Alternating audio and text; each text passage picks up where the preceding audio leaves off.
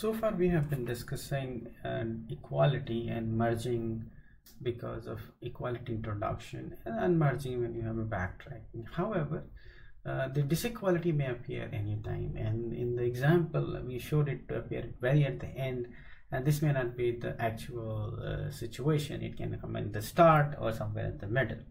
So how do we handle disequalities uh, in our uh, in our data structure?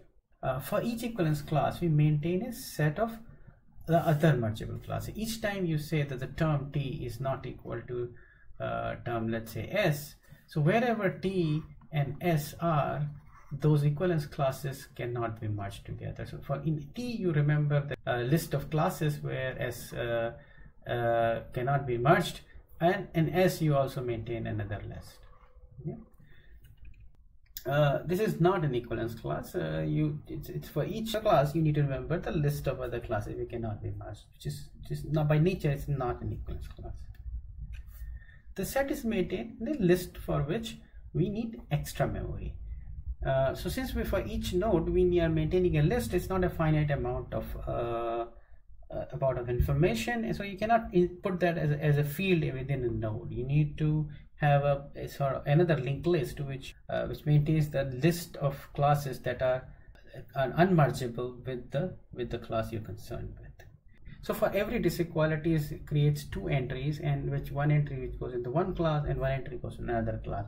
So for you have n disequalities you have uh, two n entries. Furthermore, in some uh, sometimes we have this kind of constraints. That means is that uh, the these terms t1 to tn are distinct from each other. They, none of them can be equal to each other. If that is the constraint you want to express uh, and turn into a pairwise disequalities it creates a quadratically many disequalities. And that is a is a huge cost uh, in, in adding adding such constraint into our system. So there is a better way of doing it sometimes you have let's say n is large let's say n is greater than 100 then you need to have a how many? Uh, 100 square probably disequalities to be added. Probably less than that but uh, to get the point. So there is a better way of doing it and that's how you do it. For every node you create a bit vectors. And every distinct constraints and give it a bit position. Let's say you call it ith position and this equivalence class has this bit vector and this another equivalence class has this bit vector.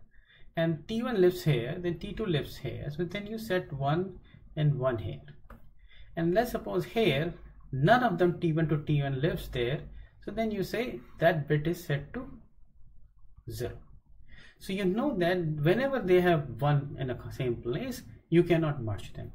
If they have not they don't have one at the same place then you can merge them and therefore you can have a easily represent this distinct constraint.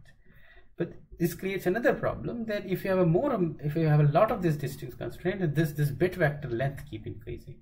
So typically what happens is that uh, they maintain a 64 bit length this bit number of uh, bit vector in in your in your node.